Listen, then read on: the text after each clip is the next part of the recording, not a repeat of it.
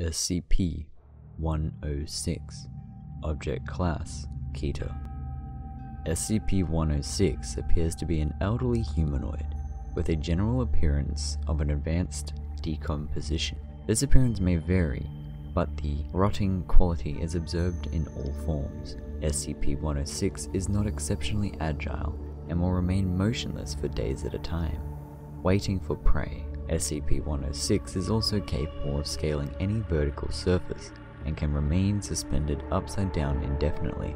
When attacking, SCP-106 will attempt to incapacitate prey by damaging major organs, muscle groups, or tendons, then pull disabled prey into its pocket dimension.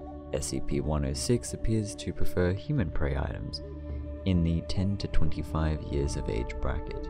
SCP-106 causes a corrosion effect in all solid matter that it touches, engaging a physical breakdown in materials several seconds after contact. This is observed as rusting, rotting and cracking of materials, and the creation of a black mucus-like substance, similar to that material coating SCP-106. This effect is particularly detrimental to living tissues, and is assumed to be a pre-digestion. Corrosion continues for 6 hours after contact, after which the effect appears to burn out. SCP-106 is capable of passing through solid matter, leaving behind a patch of its corrosive mucus. SCP-106 is able to vanish inside solid matter, entering what is assumed to be a form of pocket dimension SCP-106 is then able to exit this dimension from any point connected to the initial entry point. Examples Entering the inner wall of a room and exiting the outer wall, entering a wall and exiting from the ceiling. It is unknown if this is the point of origin for SCP-106 or a simple lair created by SCP-106. Limited observations of this pocket dimension has shown it to be comprised mostly of halls and rooms. Special Containment Procedures Revision 11 8 No physical interaction with SCP 106 is allowed at any time.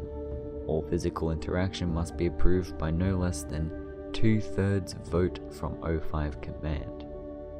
Any such interaction must be undertaken in AR-2 maximum security sites. After a general non-essential staff evacuation, all staff, research, security, class D, etc., are to remain at least 60 meters away from the containment cell at all times, except in the event of breach events.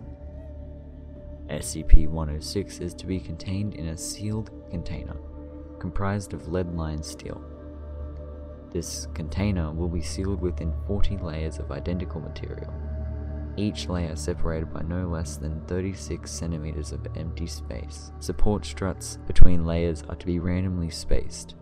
Container is to be suspended no less than 60 centimeters from any surface by ELO-IID electromagnetic supports.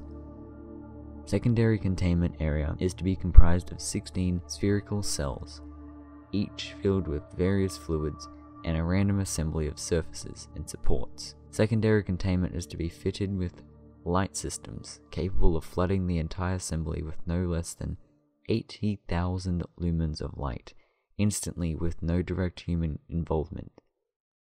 Both containment areas are to remain under 24 hour surveillance. Any corrosion observed on any containment cell surfaces, staff members, or other site locations within 200 meters of SCP-106 are to be reported to site security immediately. Any objects or personnel lost to SCP-106 are deemed missing or KIA. No recovery attempts are to be made under any circumstances. Well, that was SCP-106. A humanoid SCP that basically makes everything decay and is decaying themselves. So, kind of creepy when you think about it. I mean, a humanoid being able to almost get anywhere and everywhere. Um, kind of creepy. And given that it's an elderly humanoid and the age bracket between 10 and 25 years, that's kind of dodgy as well. But it is an SCP, uh, anomalous objects, so yeah, let me know what you thought of this one in the comments below. I'd like to hear your thoughts if you liked it, leave a like if you dislike it, dislike it. Subscribe to support this channel. You do hit the bell to get notified. I put up new videos every Sunday and then occasionally throughout the week. You can join my Discord if you like, the link to do so is in the description below. You can talk to me and many others there. And as always, thank you so much for watching.